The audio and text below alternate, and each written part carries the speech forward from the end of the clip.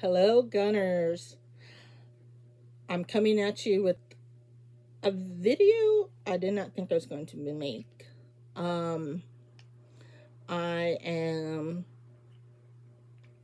I was going to um, just tell you, because I know you may have seen my video earlier that I got a G3C Toro, and uh, I was going to expect to dial it in and tell you tell you how it did, how accurate it is. As that was my plan, and I was going to mount um, the red dot that came with it, with it. And so I was at the range about 50, 100 rounds in, I want to say, dialing it in some more. I um, noticed my red dot it's a Bushnell, and I think it's a no one. It's uh, I think it's about 130 bucks or so on its own. So um, my red dot flew off, flew off at me. It and it landed and it broke. So I cannot use that red dot anymore. Glass broke, flew off, and I know sometimes when you have red dot pistols that can happen, especially if you don't have metal plates. But the ones that come with the Toro are metal. They're, they're metal. I didn't think there should be anything wrong with them. Um, so I thought, hey, maybe it's a flute. Maybe it's the optic, you know, buy once, cry once. But I also mounted my Trijicon on here and it flew off. Thank God it didn't break. So, needless to say, I am a little hesitant about putting my uh, $400 red dot back on here because it survived the first time, thankfully, but um, I don't know if I want to risk that again. Now I know that Taurus did come out with the G3 Tactical. I did take a look at that. Um, it comes with the Cerakoted Toro slide, so they and suppressor height sights. They didn't change anything other than that.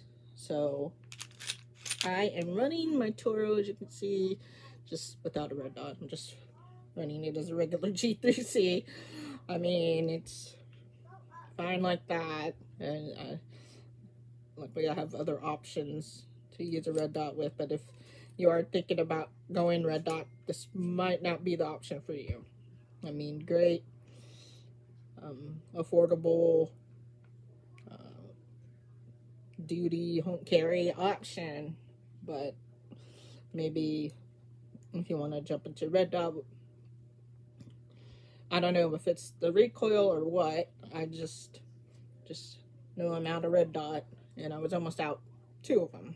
So, um, and as you know, I'm a Taurus fan. Some of my most of the videos are about Taurus and G3C. So I do like them.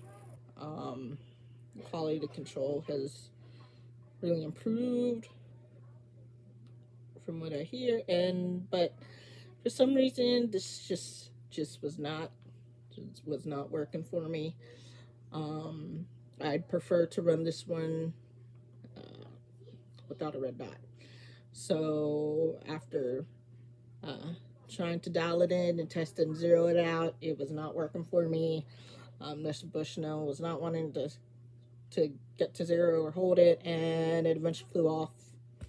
And um, my Trijicon flew off now. I'm sure you're probably wondering did I put Loctite on it, and I did.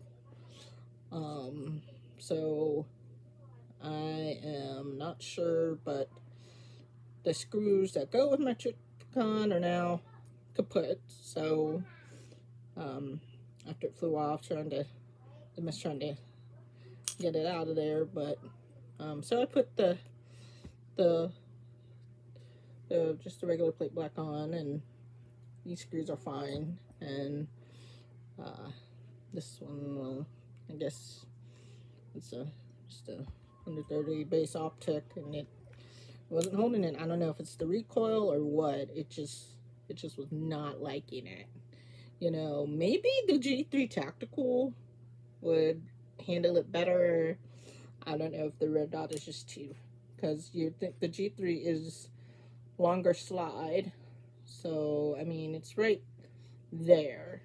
So, I, I don't know if that might be a little something to do with it, or if it would manage the recoil better, because then with the longer barrel, you'd have more, um, more room.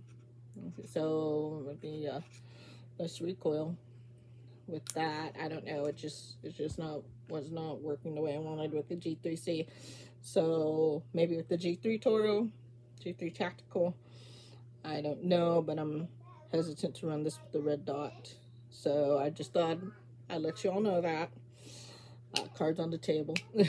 Trying to uh, make a video to tell you how how great that was and if my optic was accurate and can't tell you that I wouldn't know so but other than that I expect the same G3C performance out of out of this. I'm just not going to run it with my red dot. So thanks for tuning in. I'll catch you all later. Keep shooting.